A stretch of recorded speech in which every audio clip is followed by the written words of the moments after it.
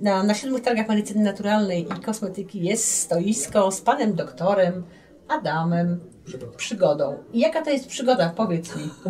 No to jest długa przygoda, ale generalnie... Teraz, z czym przyjechałeś tutaj e, na te targi? E, na targach jestem razem z firmą Starlife, dlatego że to jest firma, która mnie zaprosiła do współpracy, e, pojmując zdrowie holistycznie, czyli pojmując zdrowie Całościowo. ogólnie, całościowo, tak.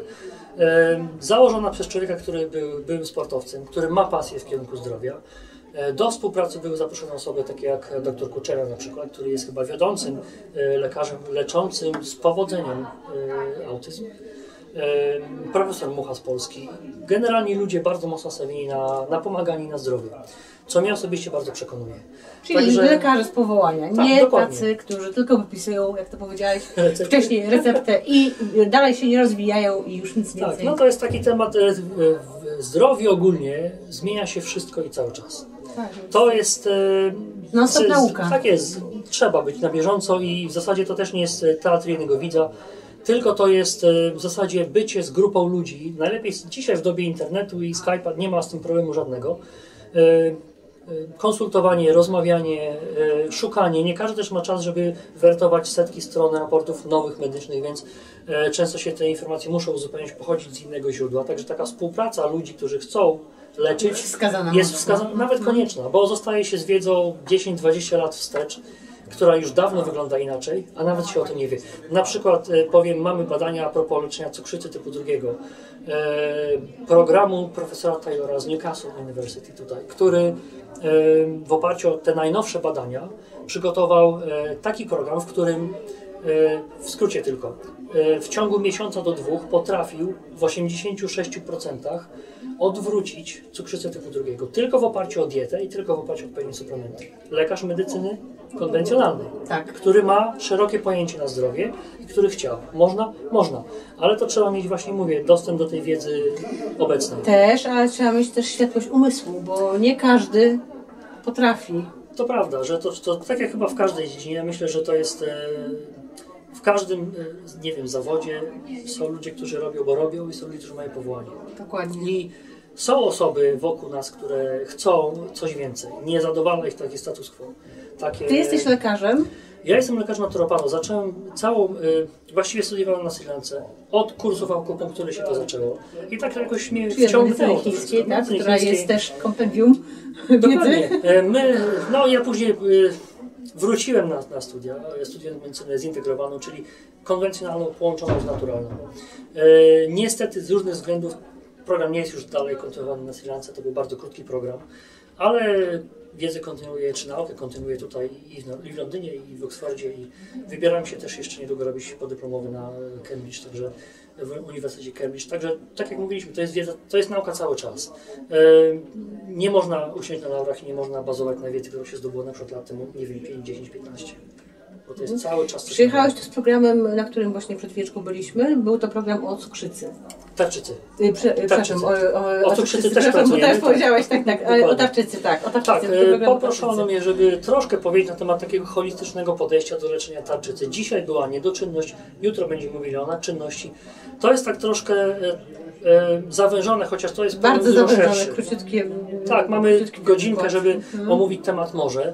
To raz. Po drugie, e, tak jak dzisiaj mówiliśmy, przy ogólnej Ale wiesz, chociaż, jest- przepraszam, że przerwę, że chociaż zaznaczenie takiego problemu, pokazanie, że można iść inną drogą, że, że y, o co lekarza pytać, Tak. to też jest bardzo ważne dla wszystkich chorych, bo to jest Oczywiście. poważne, y, poważne schorzenie. Oczywiście, to jest też między innymi powód, oprócz tych preparatów, które przemówiły do mojego serca i, um- i umysłu, to ta firma Starlife też mnie przekonała takim podejściem propagującym wiedzę. E, Gdzie rzeczywiście, jak mamy większe pojęcie o problemie zdrowotnym, jak mamy materiały, to możemy dużo lepiej, dużo lepsze decyzje podjąć. Bo znowu, na którymś z pogadanek miałem taki temat, chyba w Wellingborough, gdzie mówiliśmy dla przykładu o internecie. Internet jest fenomenalnym źródłem informacji ale jest także fenomenalnym źródłem dezinformacji. jest. Jeżeli nie mamy przygotowania medycznego, Ciężko jest wybrać. to Mhm. czasami naprawdę gubimy się w tym, kto ma rację, tak naprawdę. Gdzie te poglądy e, są jeszcze prawdziwe, a gdzie są lekko już tak troszkę Naciągnięte. naciągnięte. Także to jest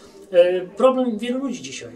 Ciężko, ciężko do niego podejść i stąd też to nasza, w sumie dopiero rozpoczynamy e, też zgodnie z zaradą Jerzego Zięby, żeby te pogadanki robić, jakieś wykłady, seminaria propagować, mówić, mówić, mówić jeszcze raz, bo y, słusznie, czasami wystarczy komuś pokazać. Mamy alternatywy, y, mamy wyborów więcej, jeżeli tylko wiemy, w którym kierunku możemy pójść. I bardzo często to jest Tak, ale ludzie też zaczynają, zac- zaczynają jakby dociekać trochę bardziej, prawda, niż Chyba tak, wcześniej, bo chyba tak. jednak wcześniej było to, co lekarz powiedział, jest święte, a teraz już nie bardzo tak.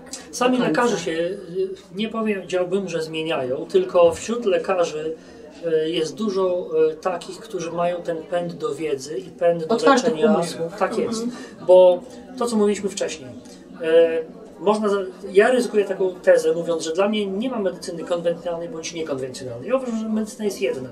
Są Taka tylko- powinna być, tak, naprawdę. są tylko różne podejścia. Tak jak na przykład mamy powiedzmy specjalistę endokrynologa, czy nie wiem, y, y, jakikolwiek inne choroby, na przykład hepatologa zajmujący się wątrobą, prawda? W podobny sposób możemy patrzeć na medycynę ogólnie. Mamy zioła, prawda, od wielu setek lat. Mamy teraz większą wiedzę biochemiczną, gdzie możemy te zioła, o tych ziołach się dużo więcej nauczyć. Ile się mówi dzisiaj o świadomie je bioflawonoidach. użyć. Dokładnie. Dlaczego tego nie połączyć na przykład z, z nowoczesnym e, komputero- komputerową tomografią, czy badaniami krwi morfologicznymi, czy USG na przykład, czy inną tą dobrocią technologiczną, którą mamy.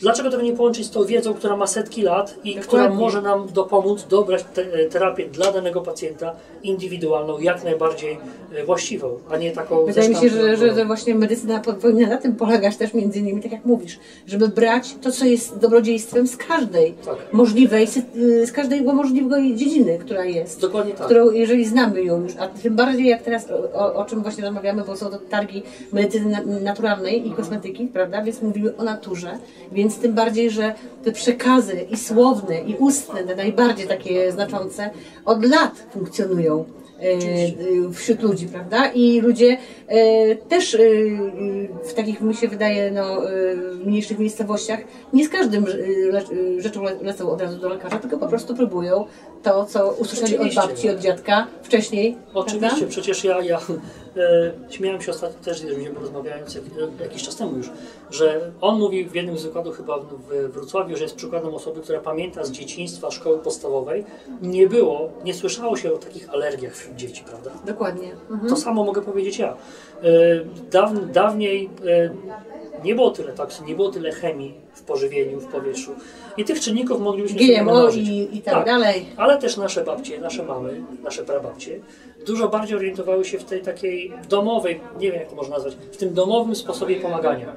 Zresztą e, z doktorem Pawłowskim z Iławy, z którym współpracuję już wiele lat, rozmawialiśmy kiedyś, kiedyś z takim starszym panem, lekarzem, e, który pamięta Panem, który ma chyba już ponad 70 lat. Pamięta te lata studiowania medycyny dawno, gdzie wcale się nie wykluczało e, jakichś takich domowych sposobów, gdzie się wręcz zalecało na przykład, nie wiem, czy picie rumianku, czy jakichś innych takich naszych domowych e, maści nagietkowej, o tym się mówiło powszechnie i wszędzie.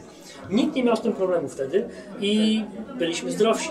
Teraz, gdy jesteśmy bardziej chorzy, gdy czynniki zewnętrzne, tak jak właśnie toksyny, czy, czy to pożywienie, które nie jest najlepsze dzisiaj, powiedzmy sobie szczerze, wielokrotnie e, wypełnione chemią, pestycydami i czym tylko tam jeszcze możemy sobie wyobrazić, nasz organizm potrzebuje jeszcze bardziej tych naturalnych, przyjaznych nam e, substancji, które pomagają organizmowi oczyścić się i leczyć, a nie czegoś, co jest nam no, nieprzyjazne i, i zgoła obce.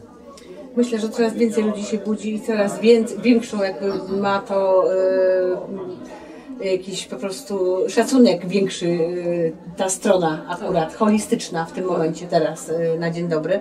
Także może e, na tym akcencie dzisiaj skończymy, ale zapraszam do następnego naszego, naszego spotkania, które będzie się na Skype'ie. Gościem moim był dzisiaj znaczy się, ja właściwie jestem gościem tutaj na targach. Adam Przygoda opowiedział nam właśnie o, o tym, czym się zajmuje. Dziękuję Ci bardzo. Dziękuję bardzo też.